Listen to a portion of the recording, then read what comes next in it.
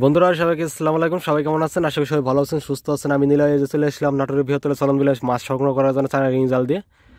তো ওই যে চলে আসলাম আরেকটি চানা রিং জালে গেছে আমরা এই মুহূর্তে।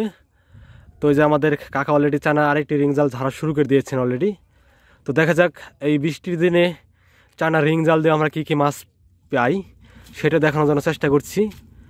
আমাদের কাকার জালটা ধীরে ধীরে নিয়ে আসতেছে, দেখা যাক বন্ধুরা।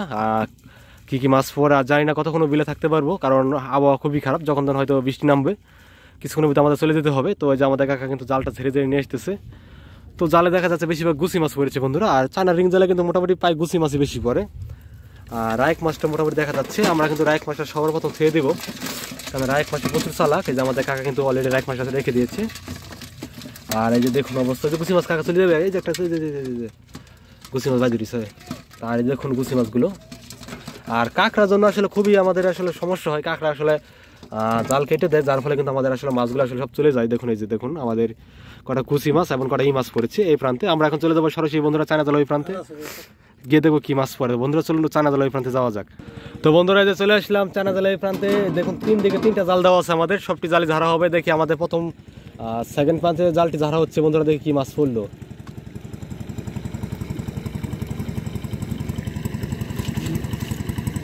দেশের যে পরিস্থিতি, যখন তখন বৃষ্টি নামলে ধরেন ব্রিজের নিচে আশ্রয় নেওয়া লাগবে না কোনো উপায় থাকতে লাগে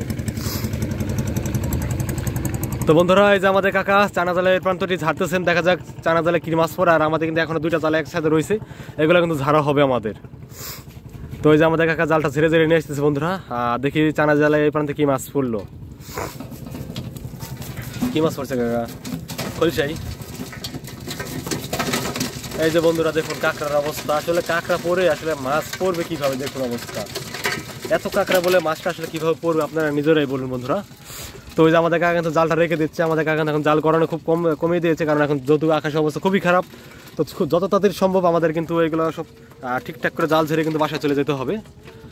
তো ওই যে আমাদের কাকা কাকা গেলে কি? কই দেবো এনে গেলে দেবো এই যে দেখুন, এক একটা কাঁকড়া দেখুন সাইজ অবস্থা। কাঁকড়া রে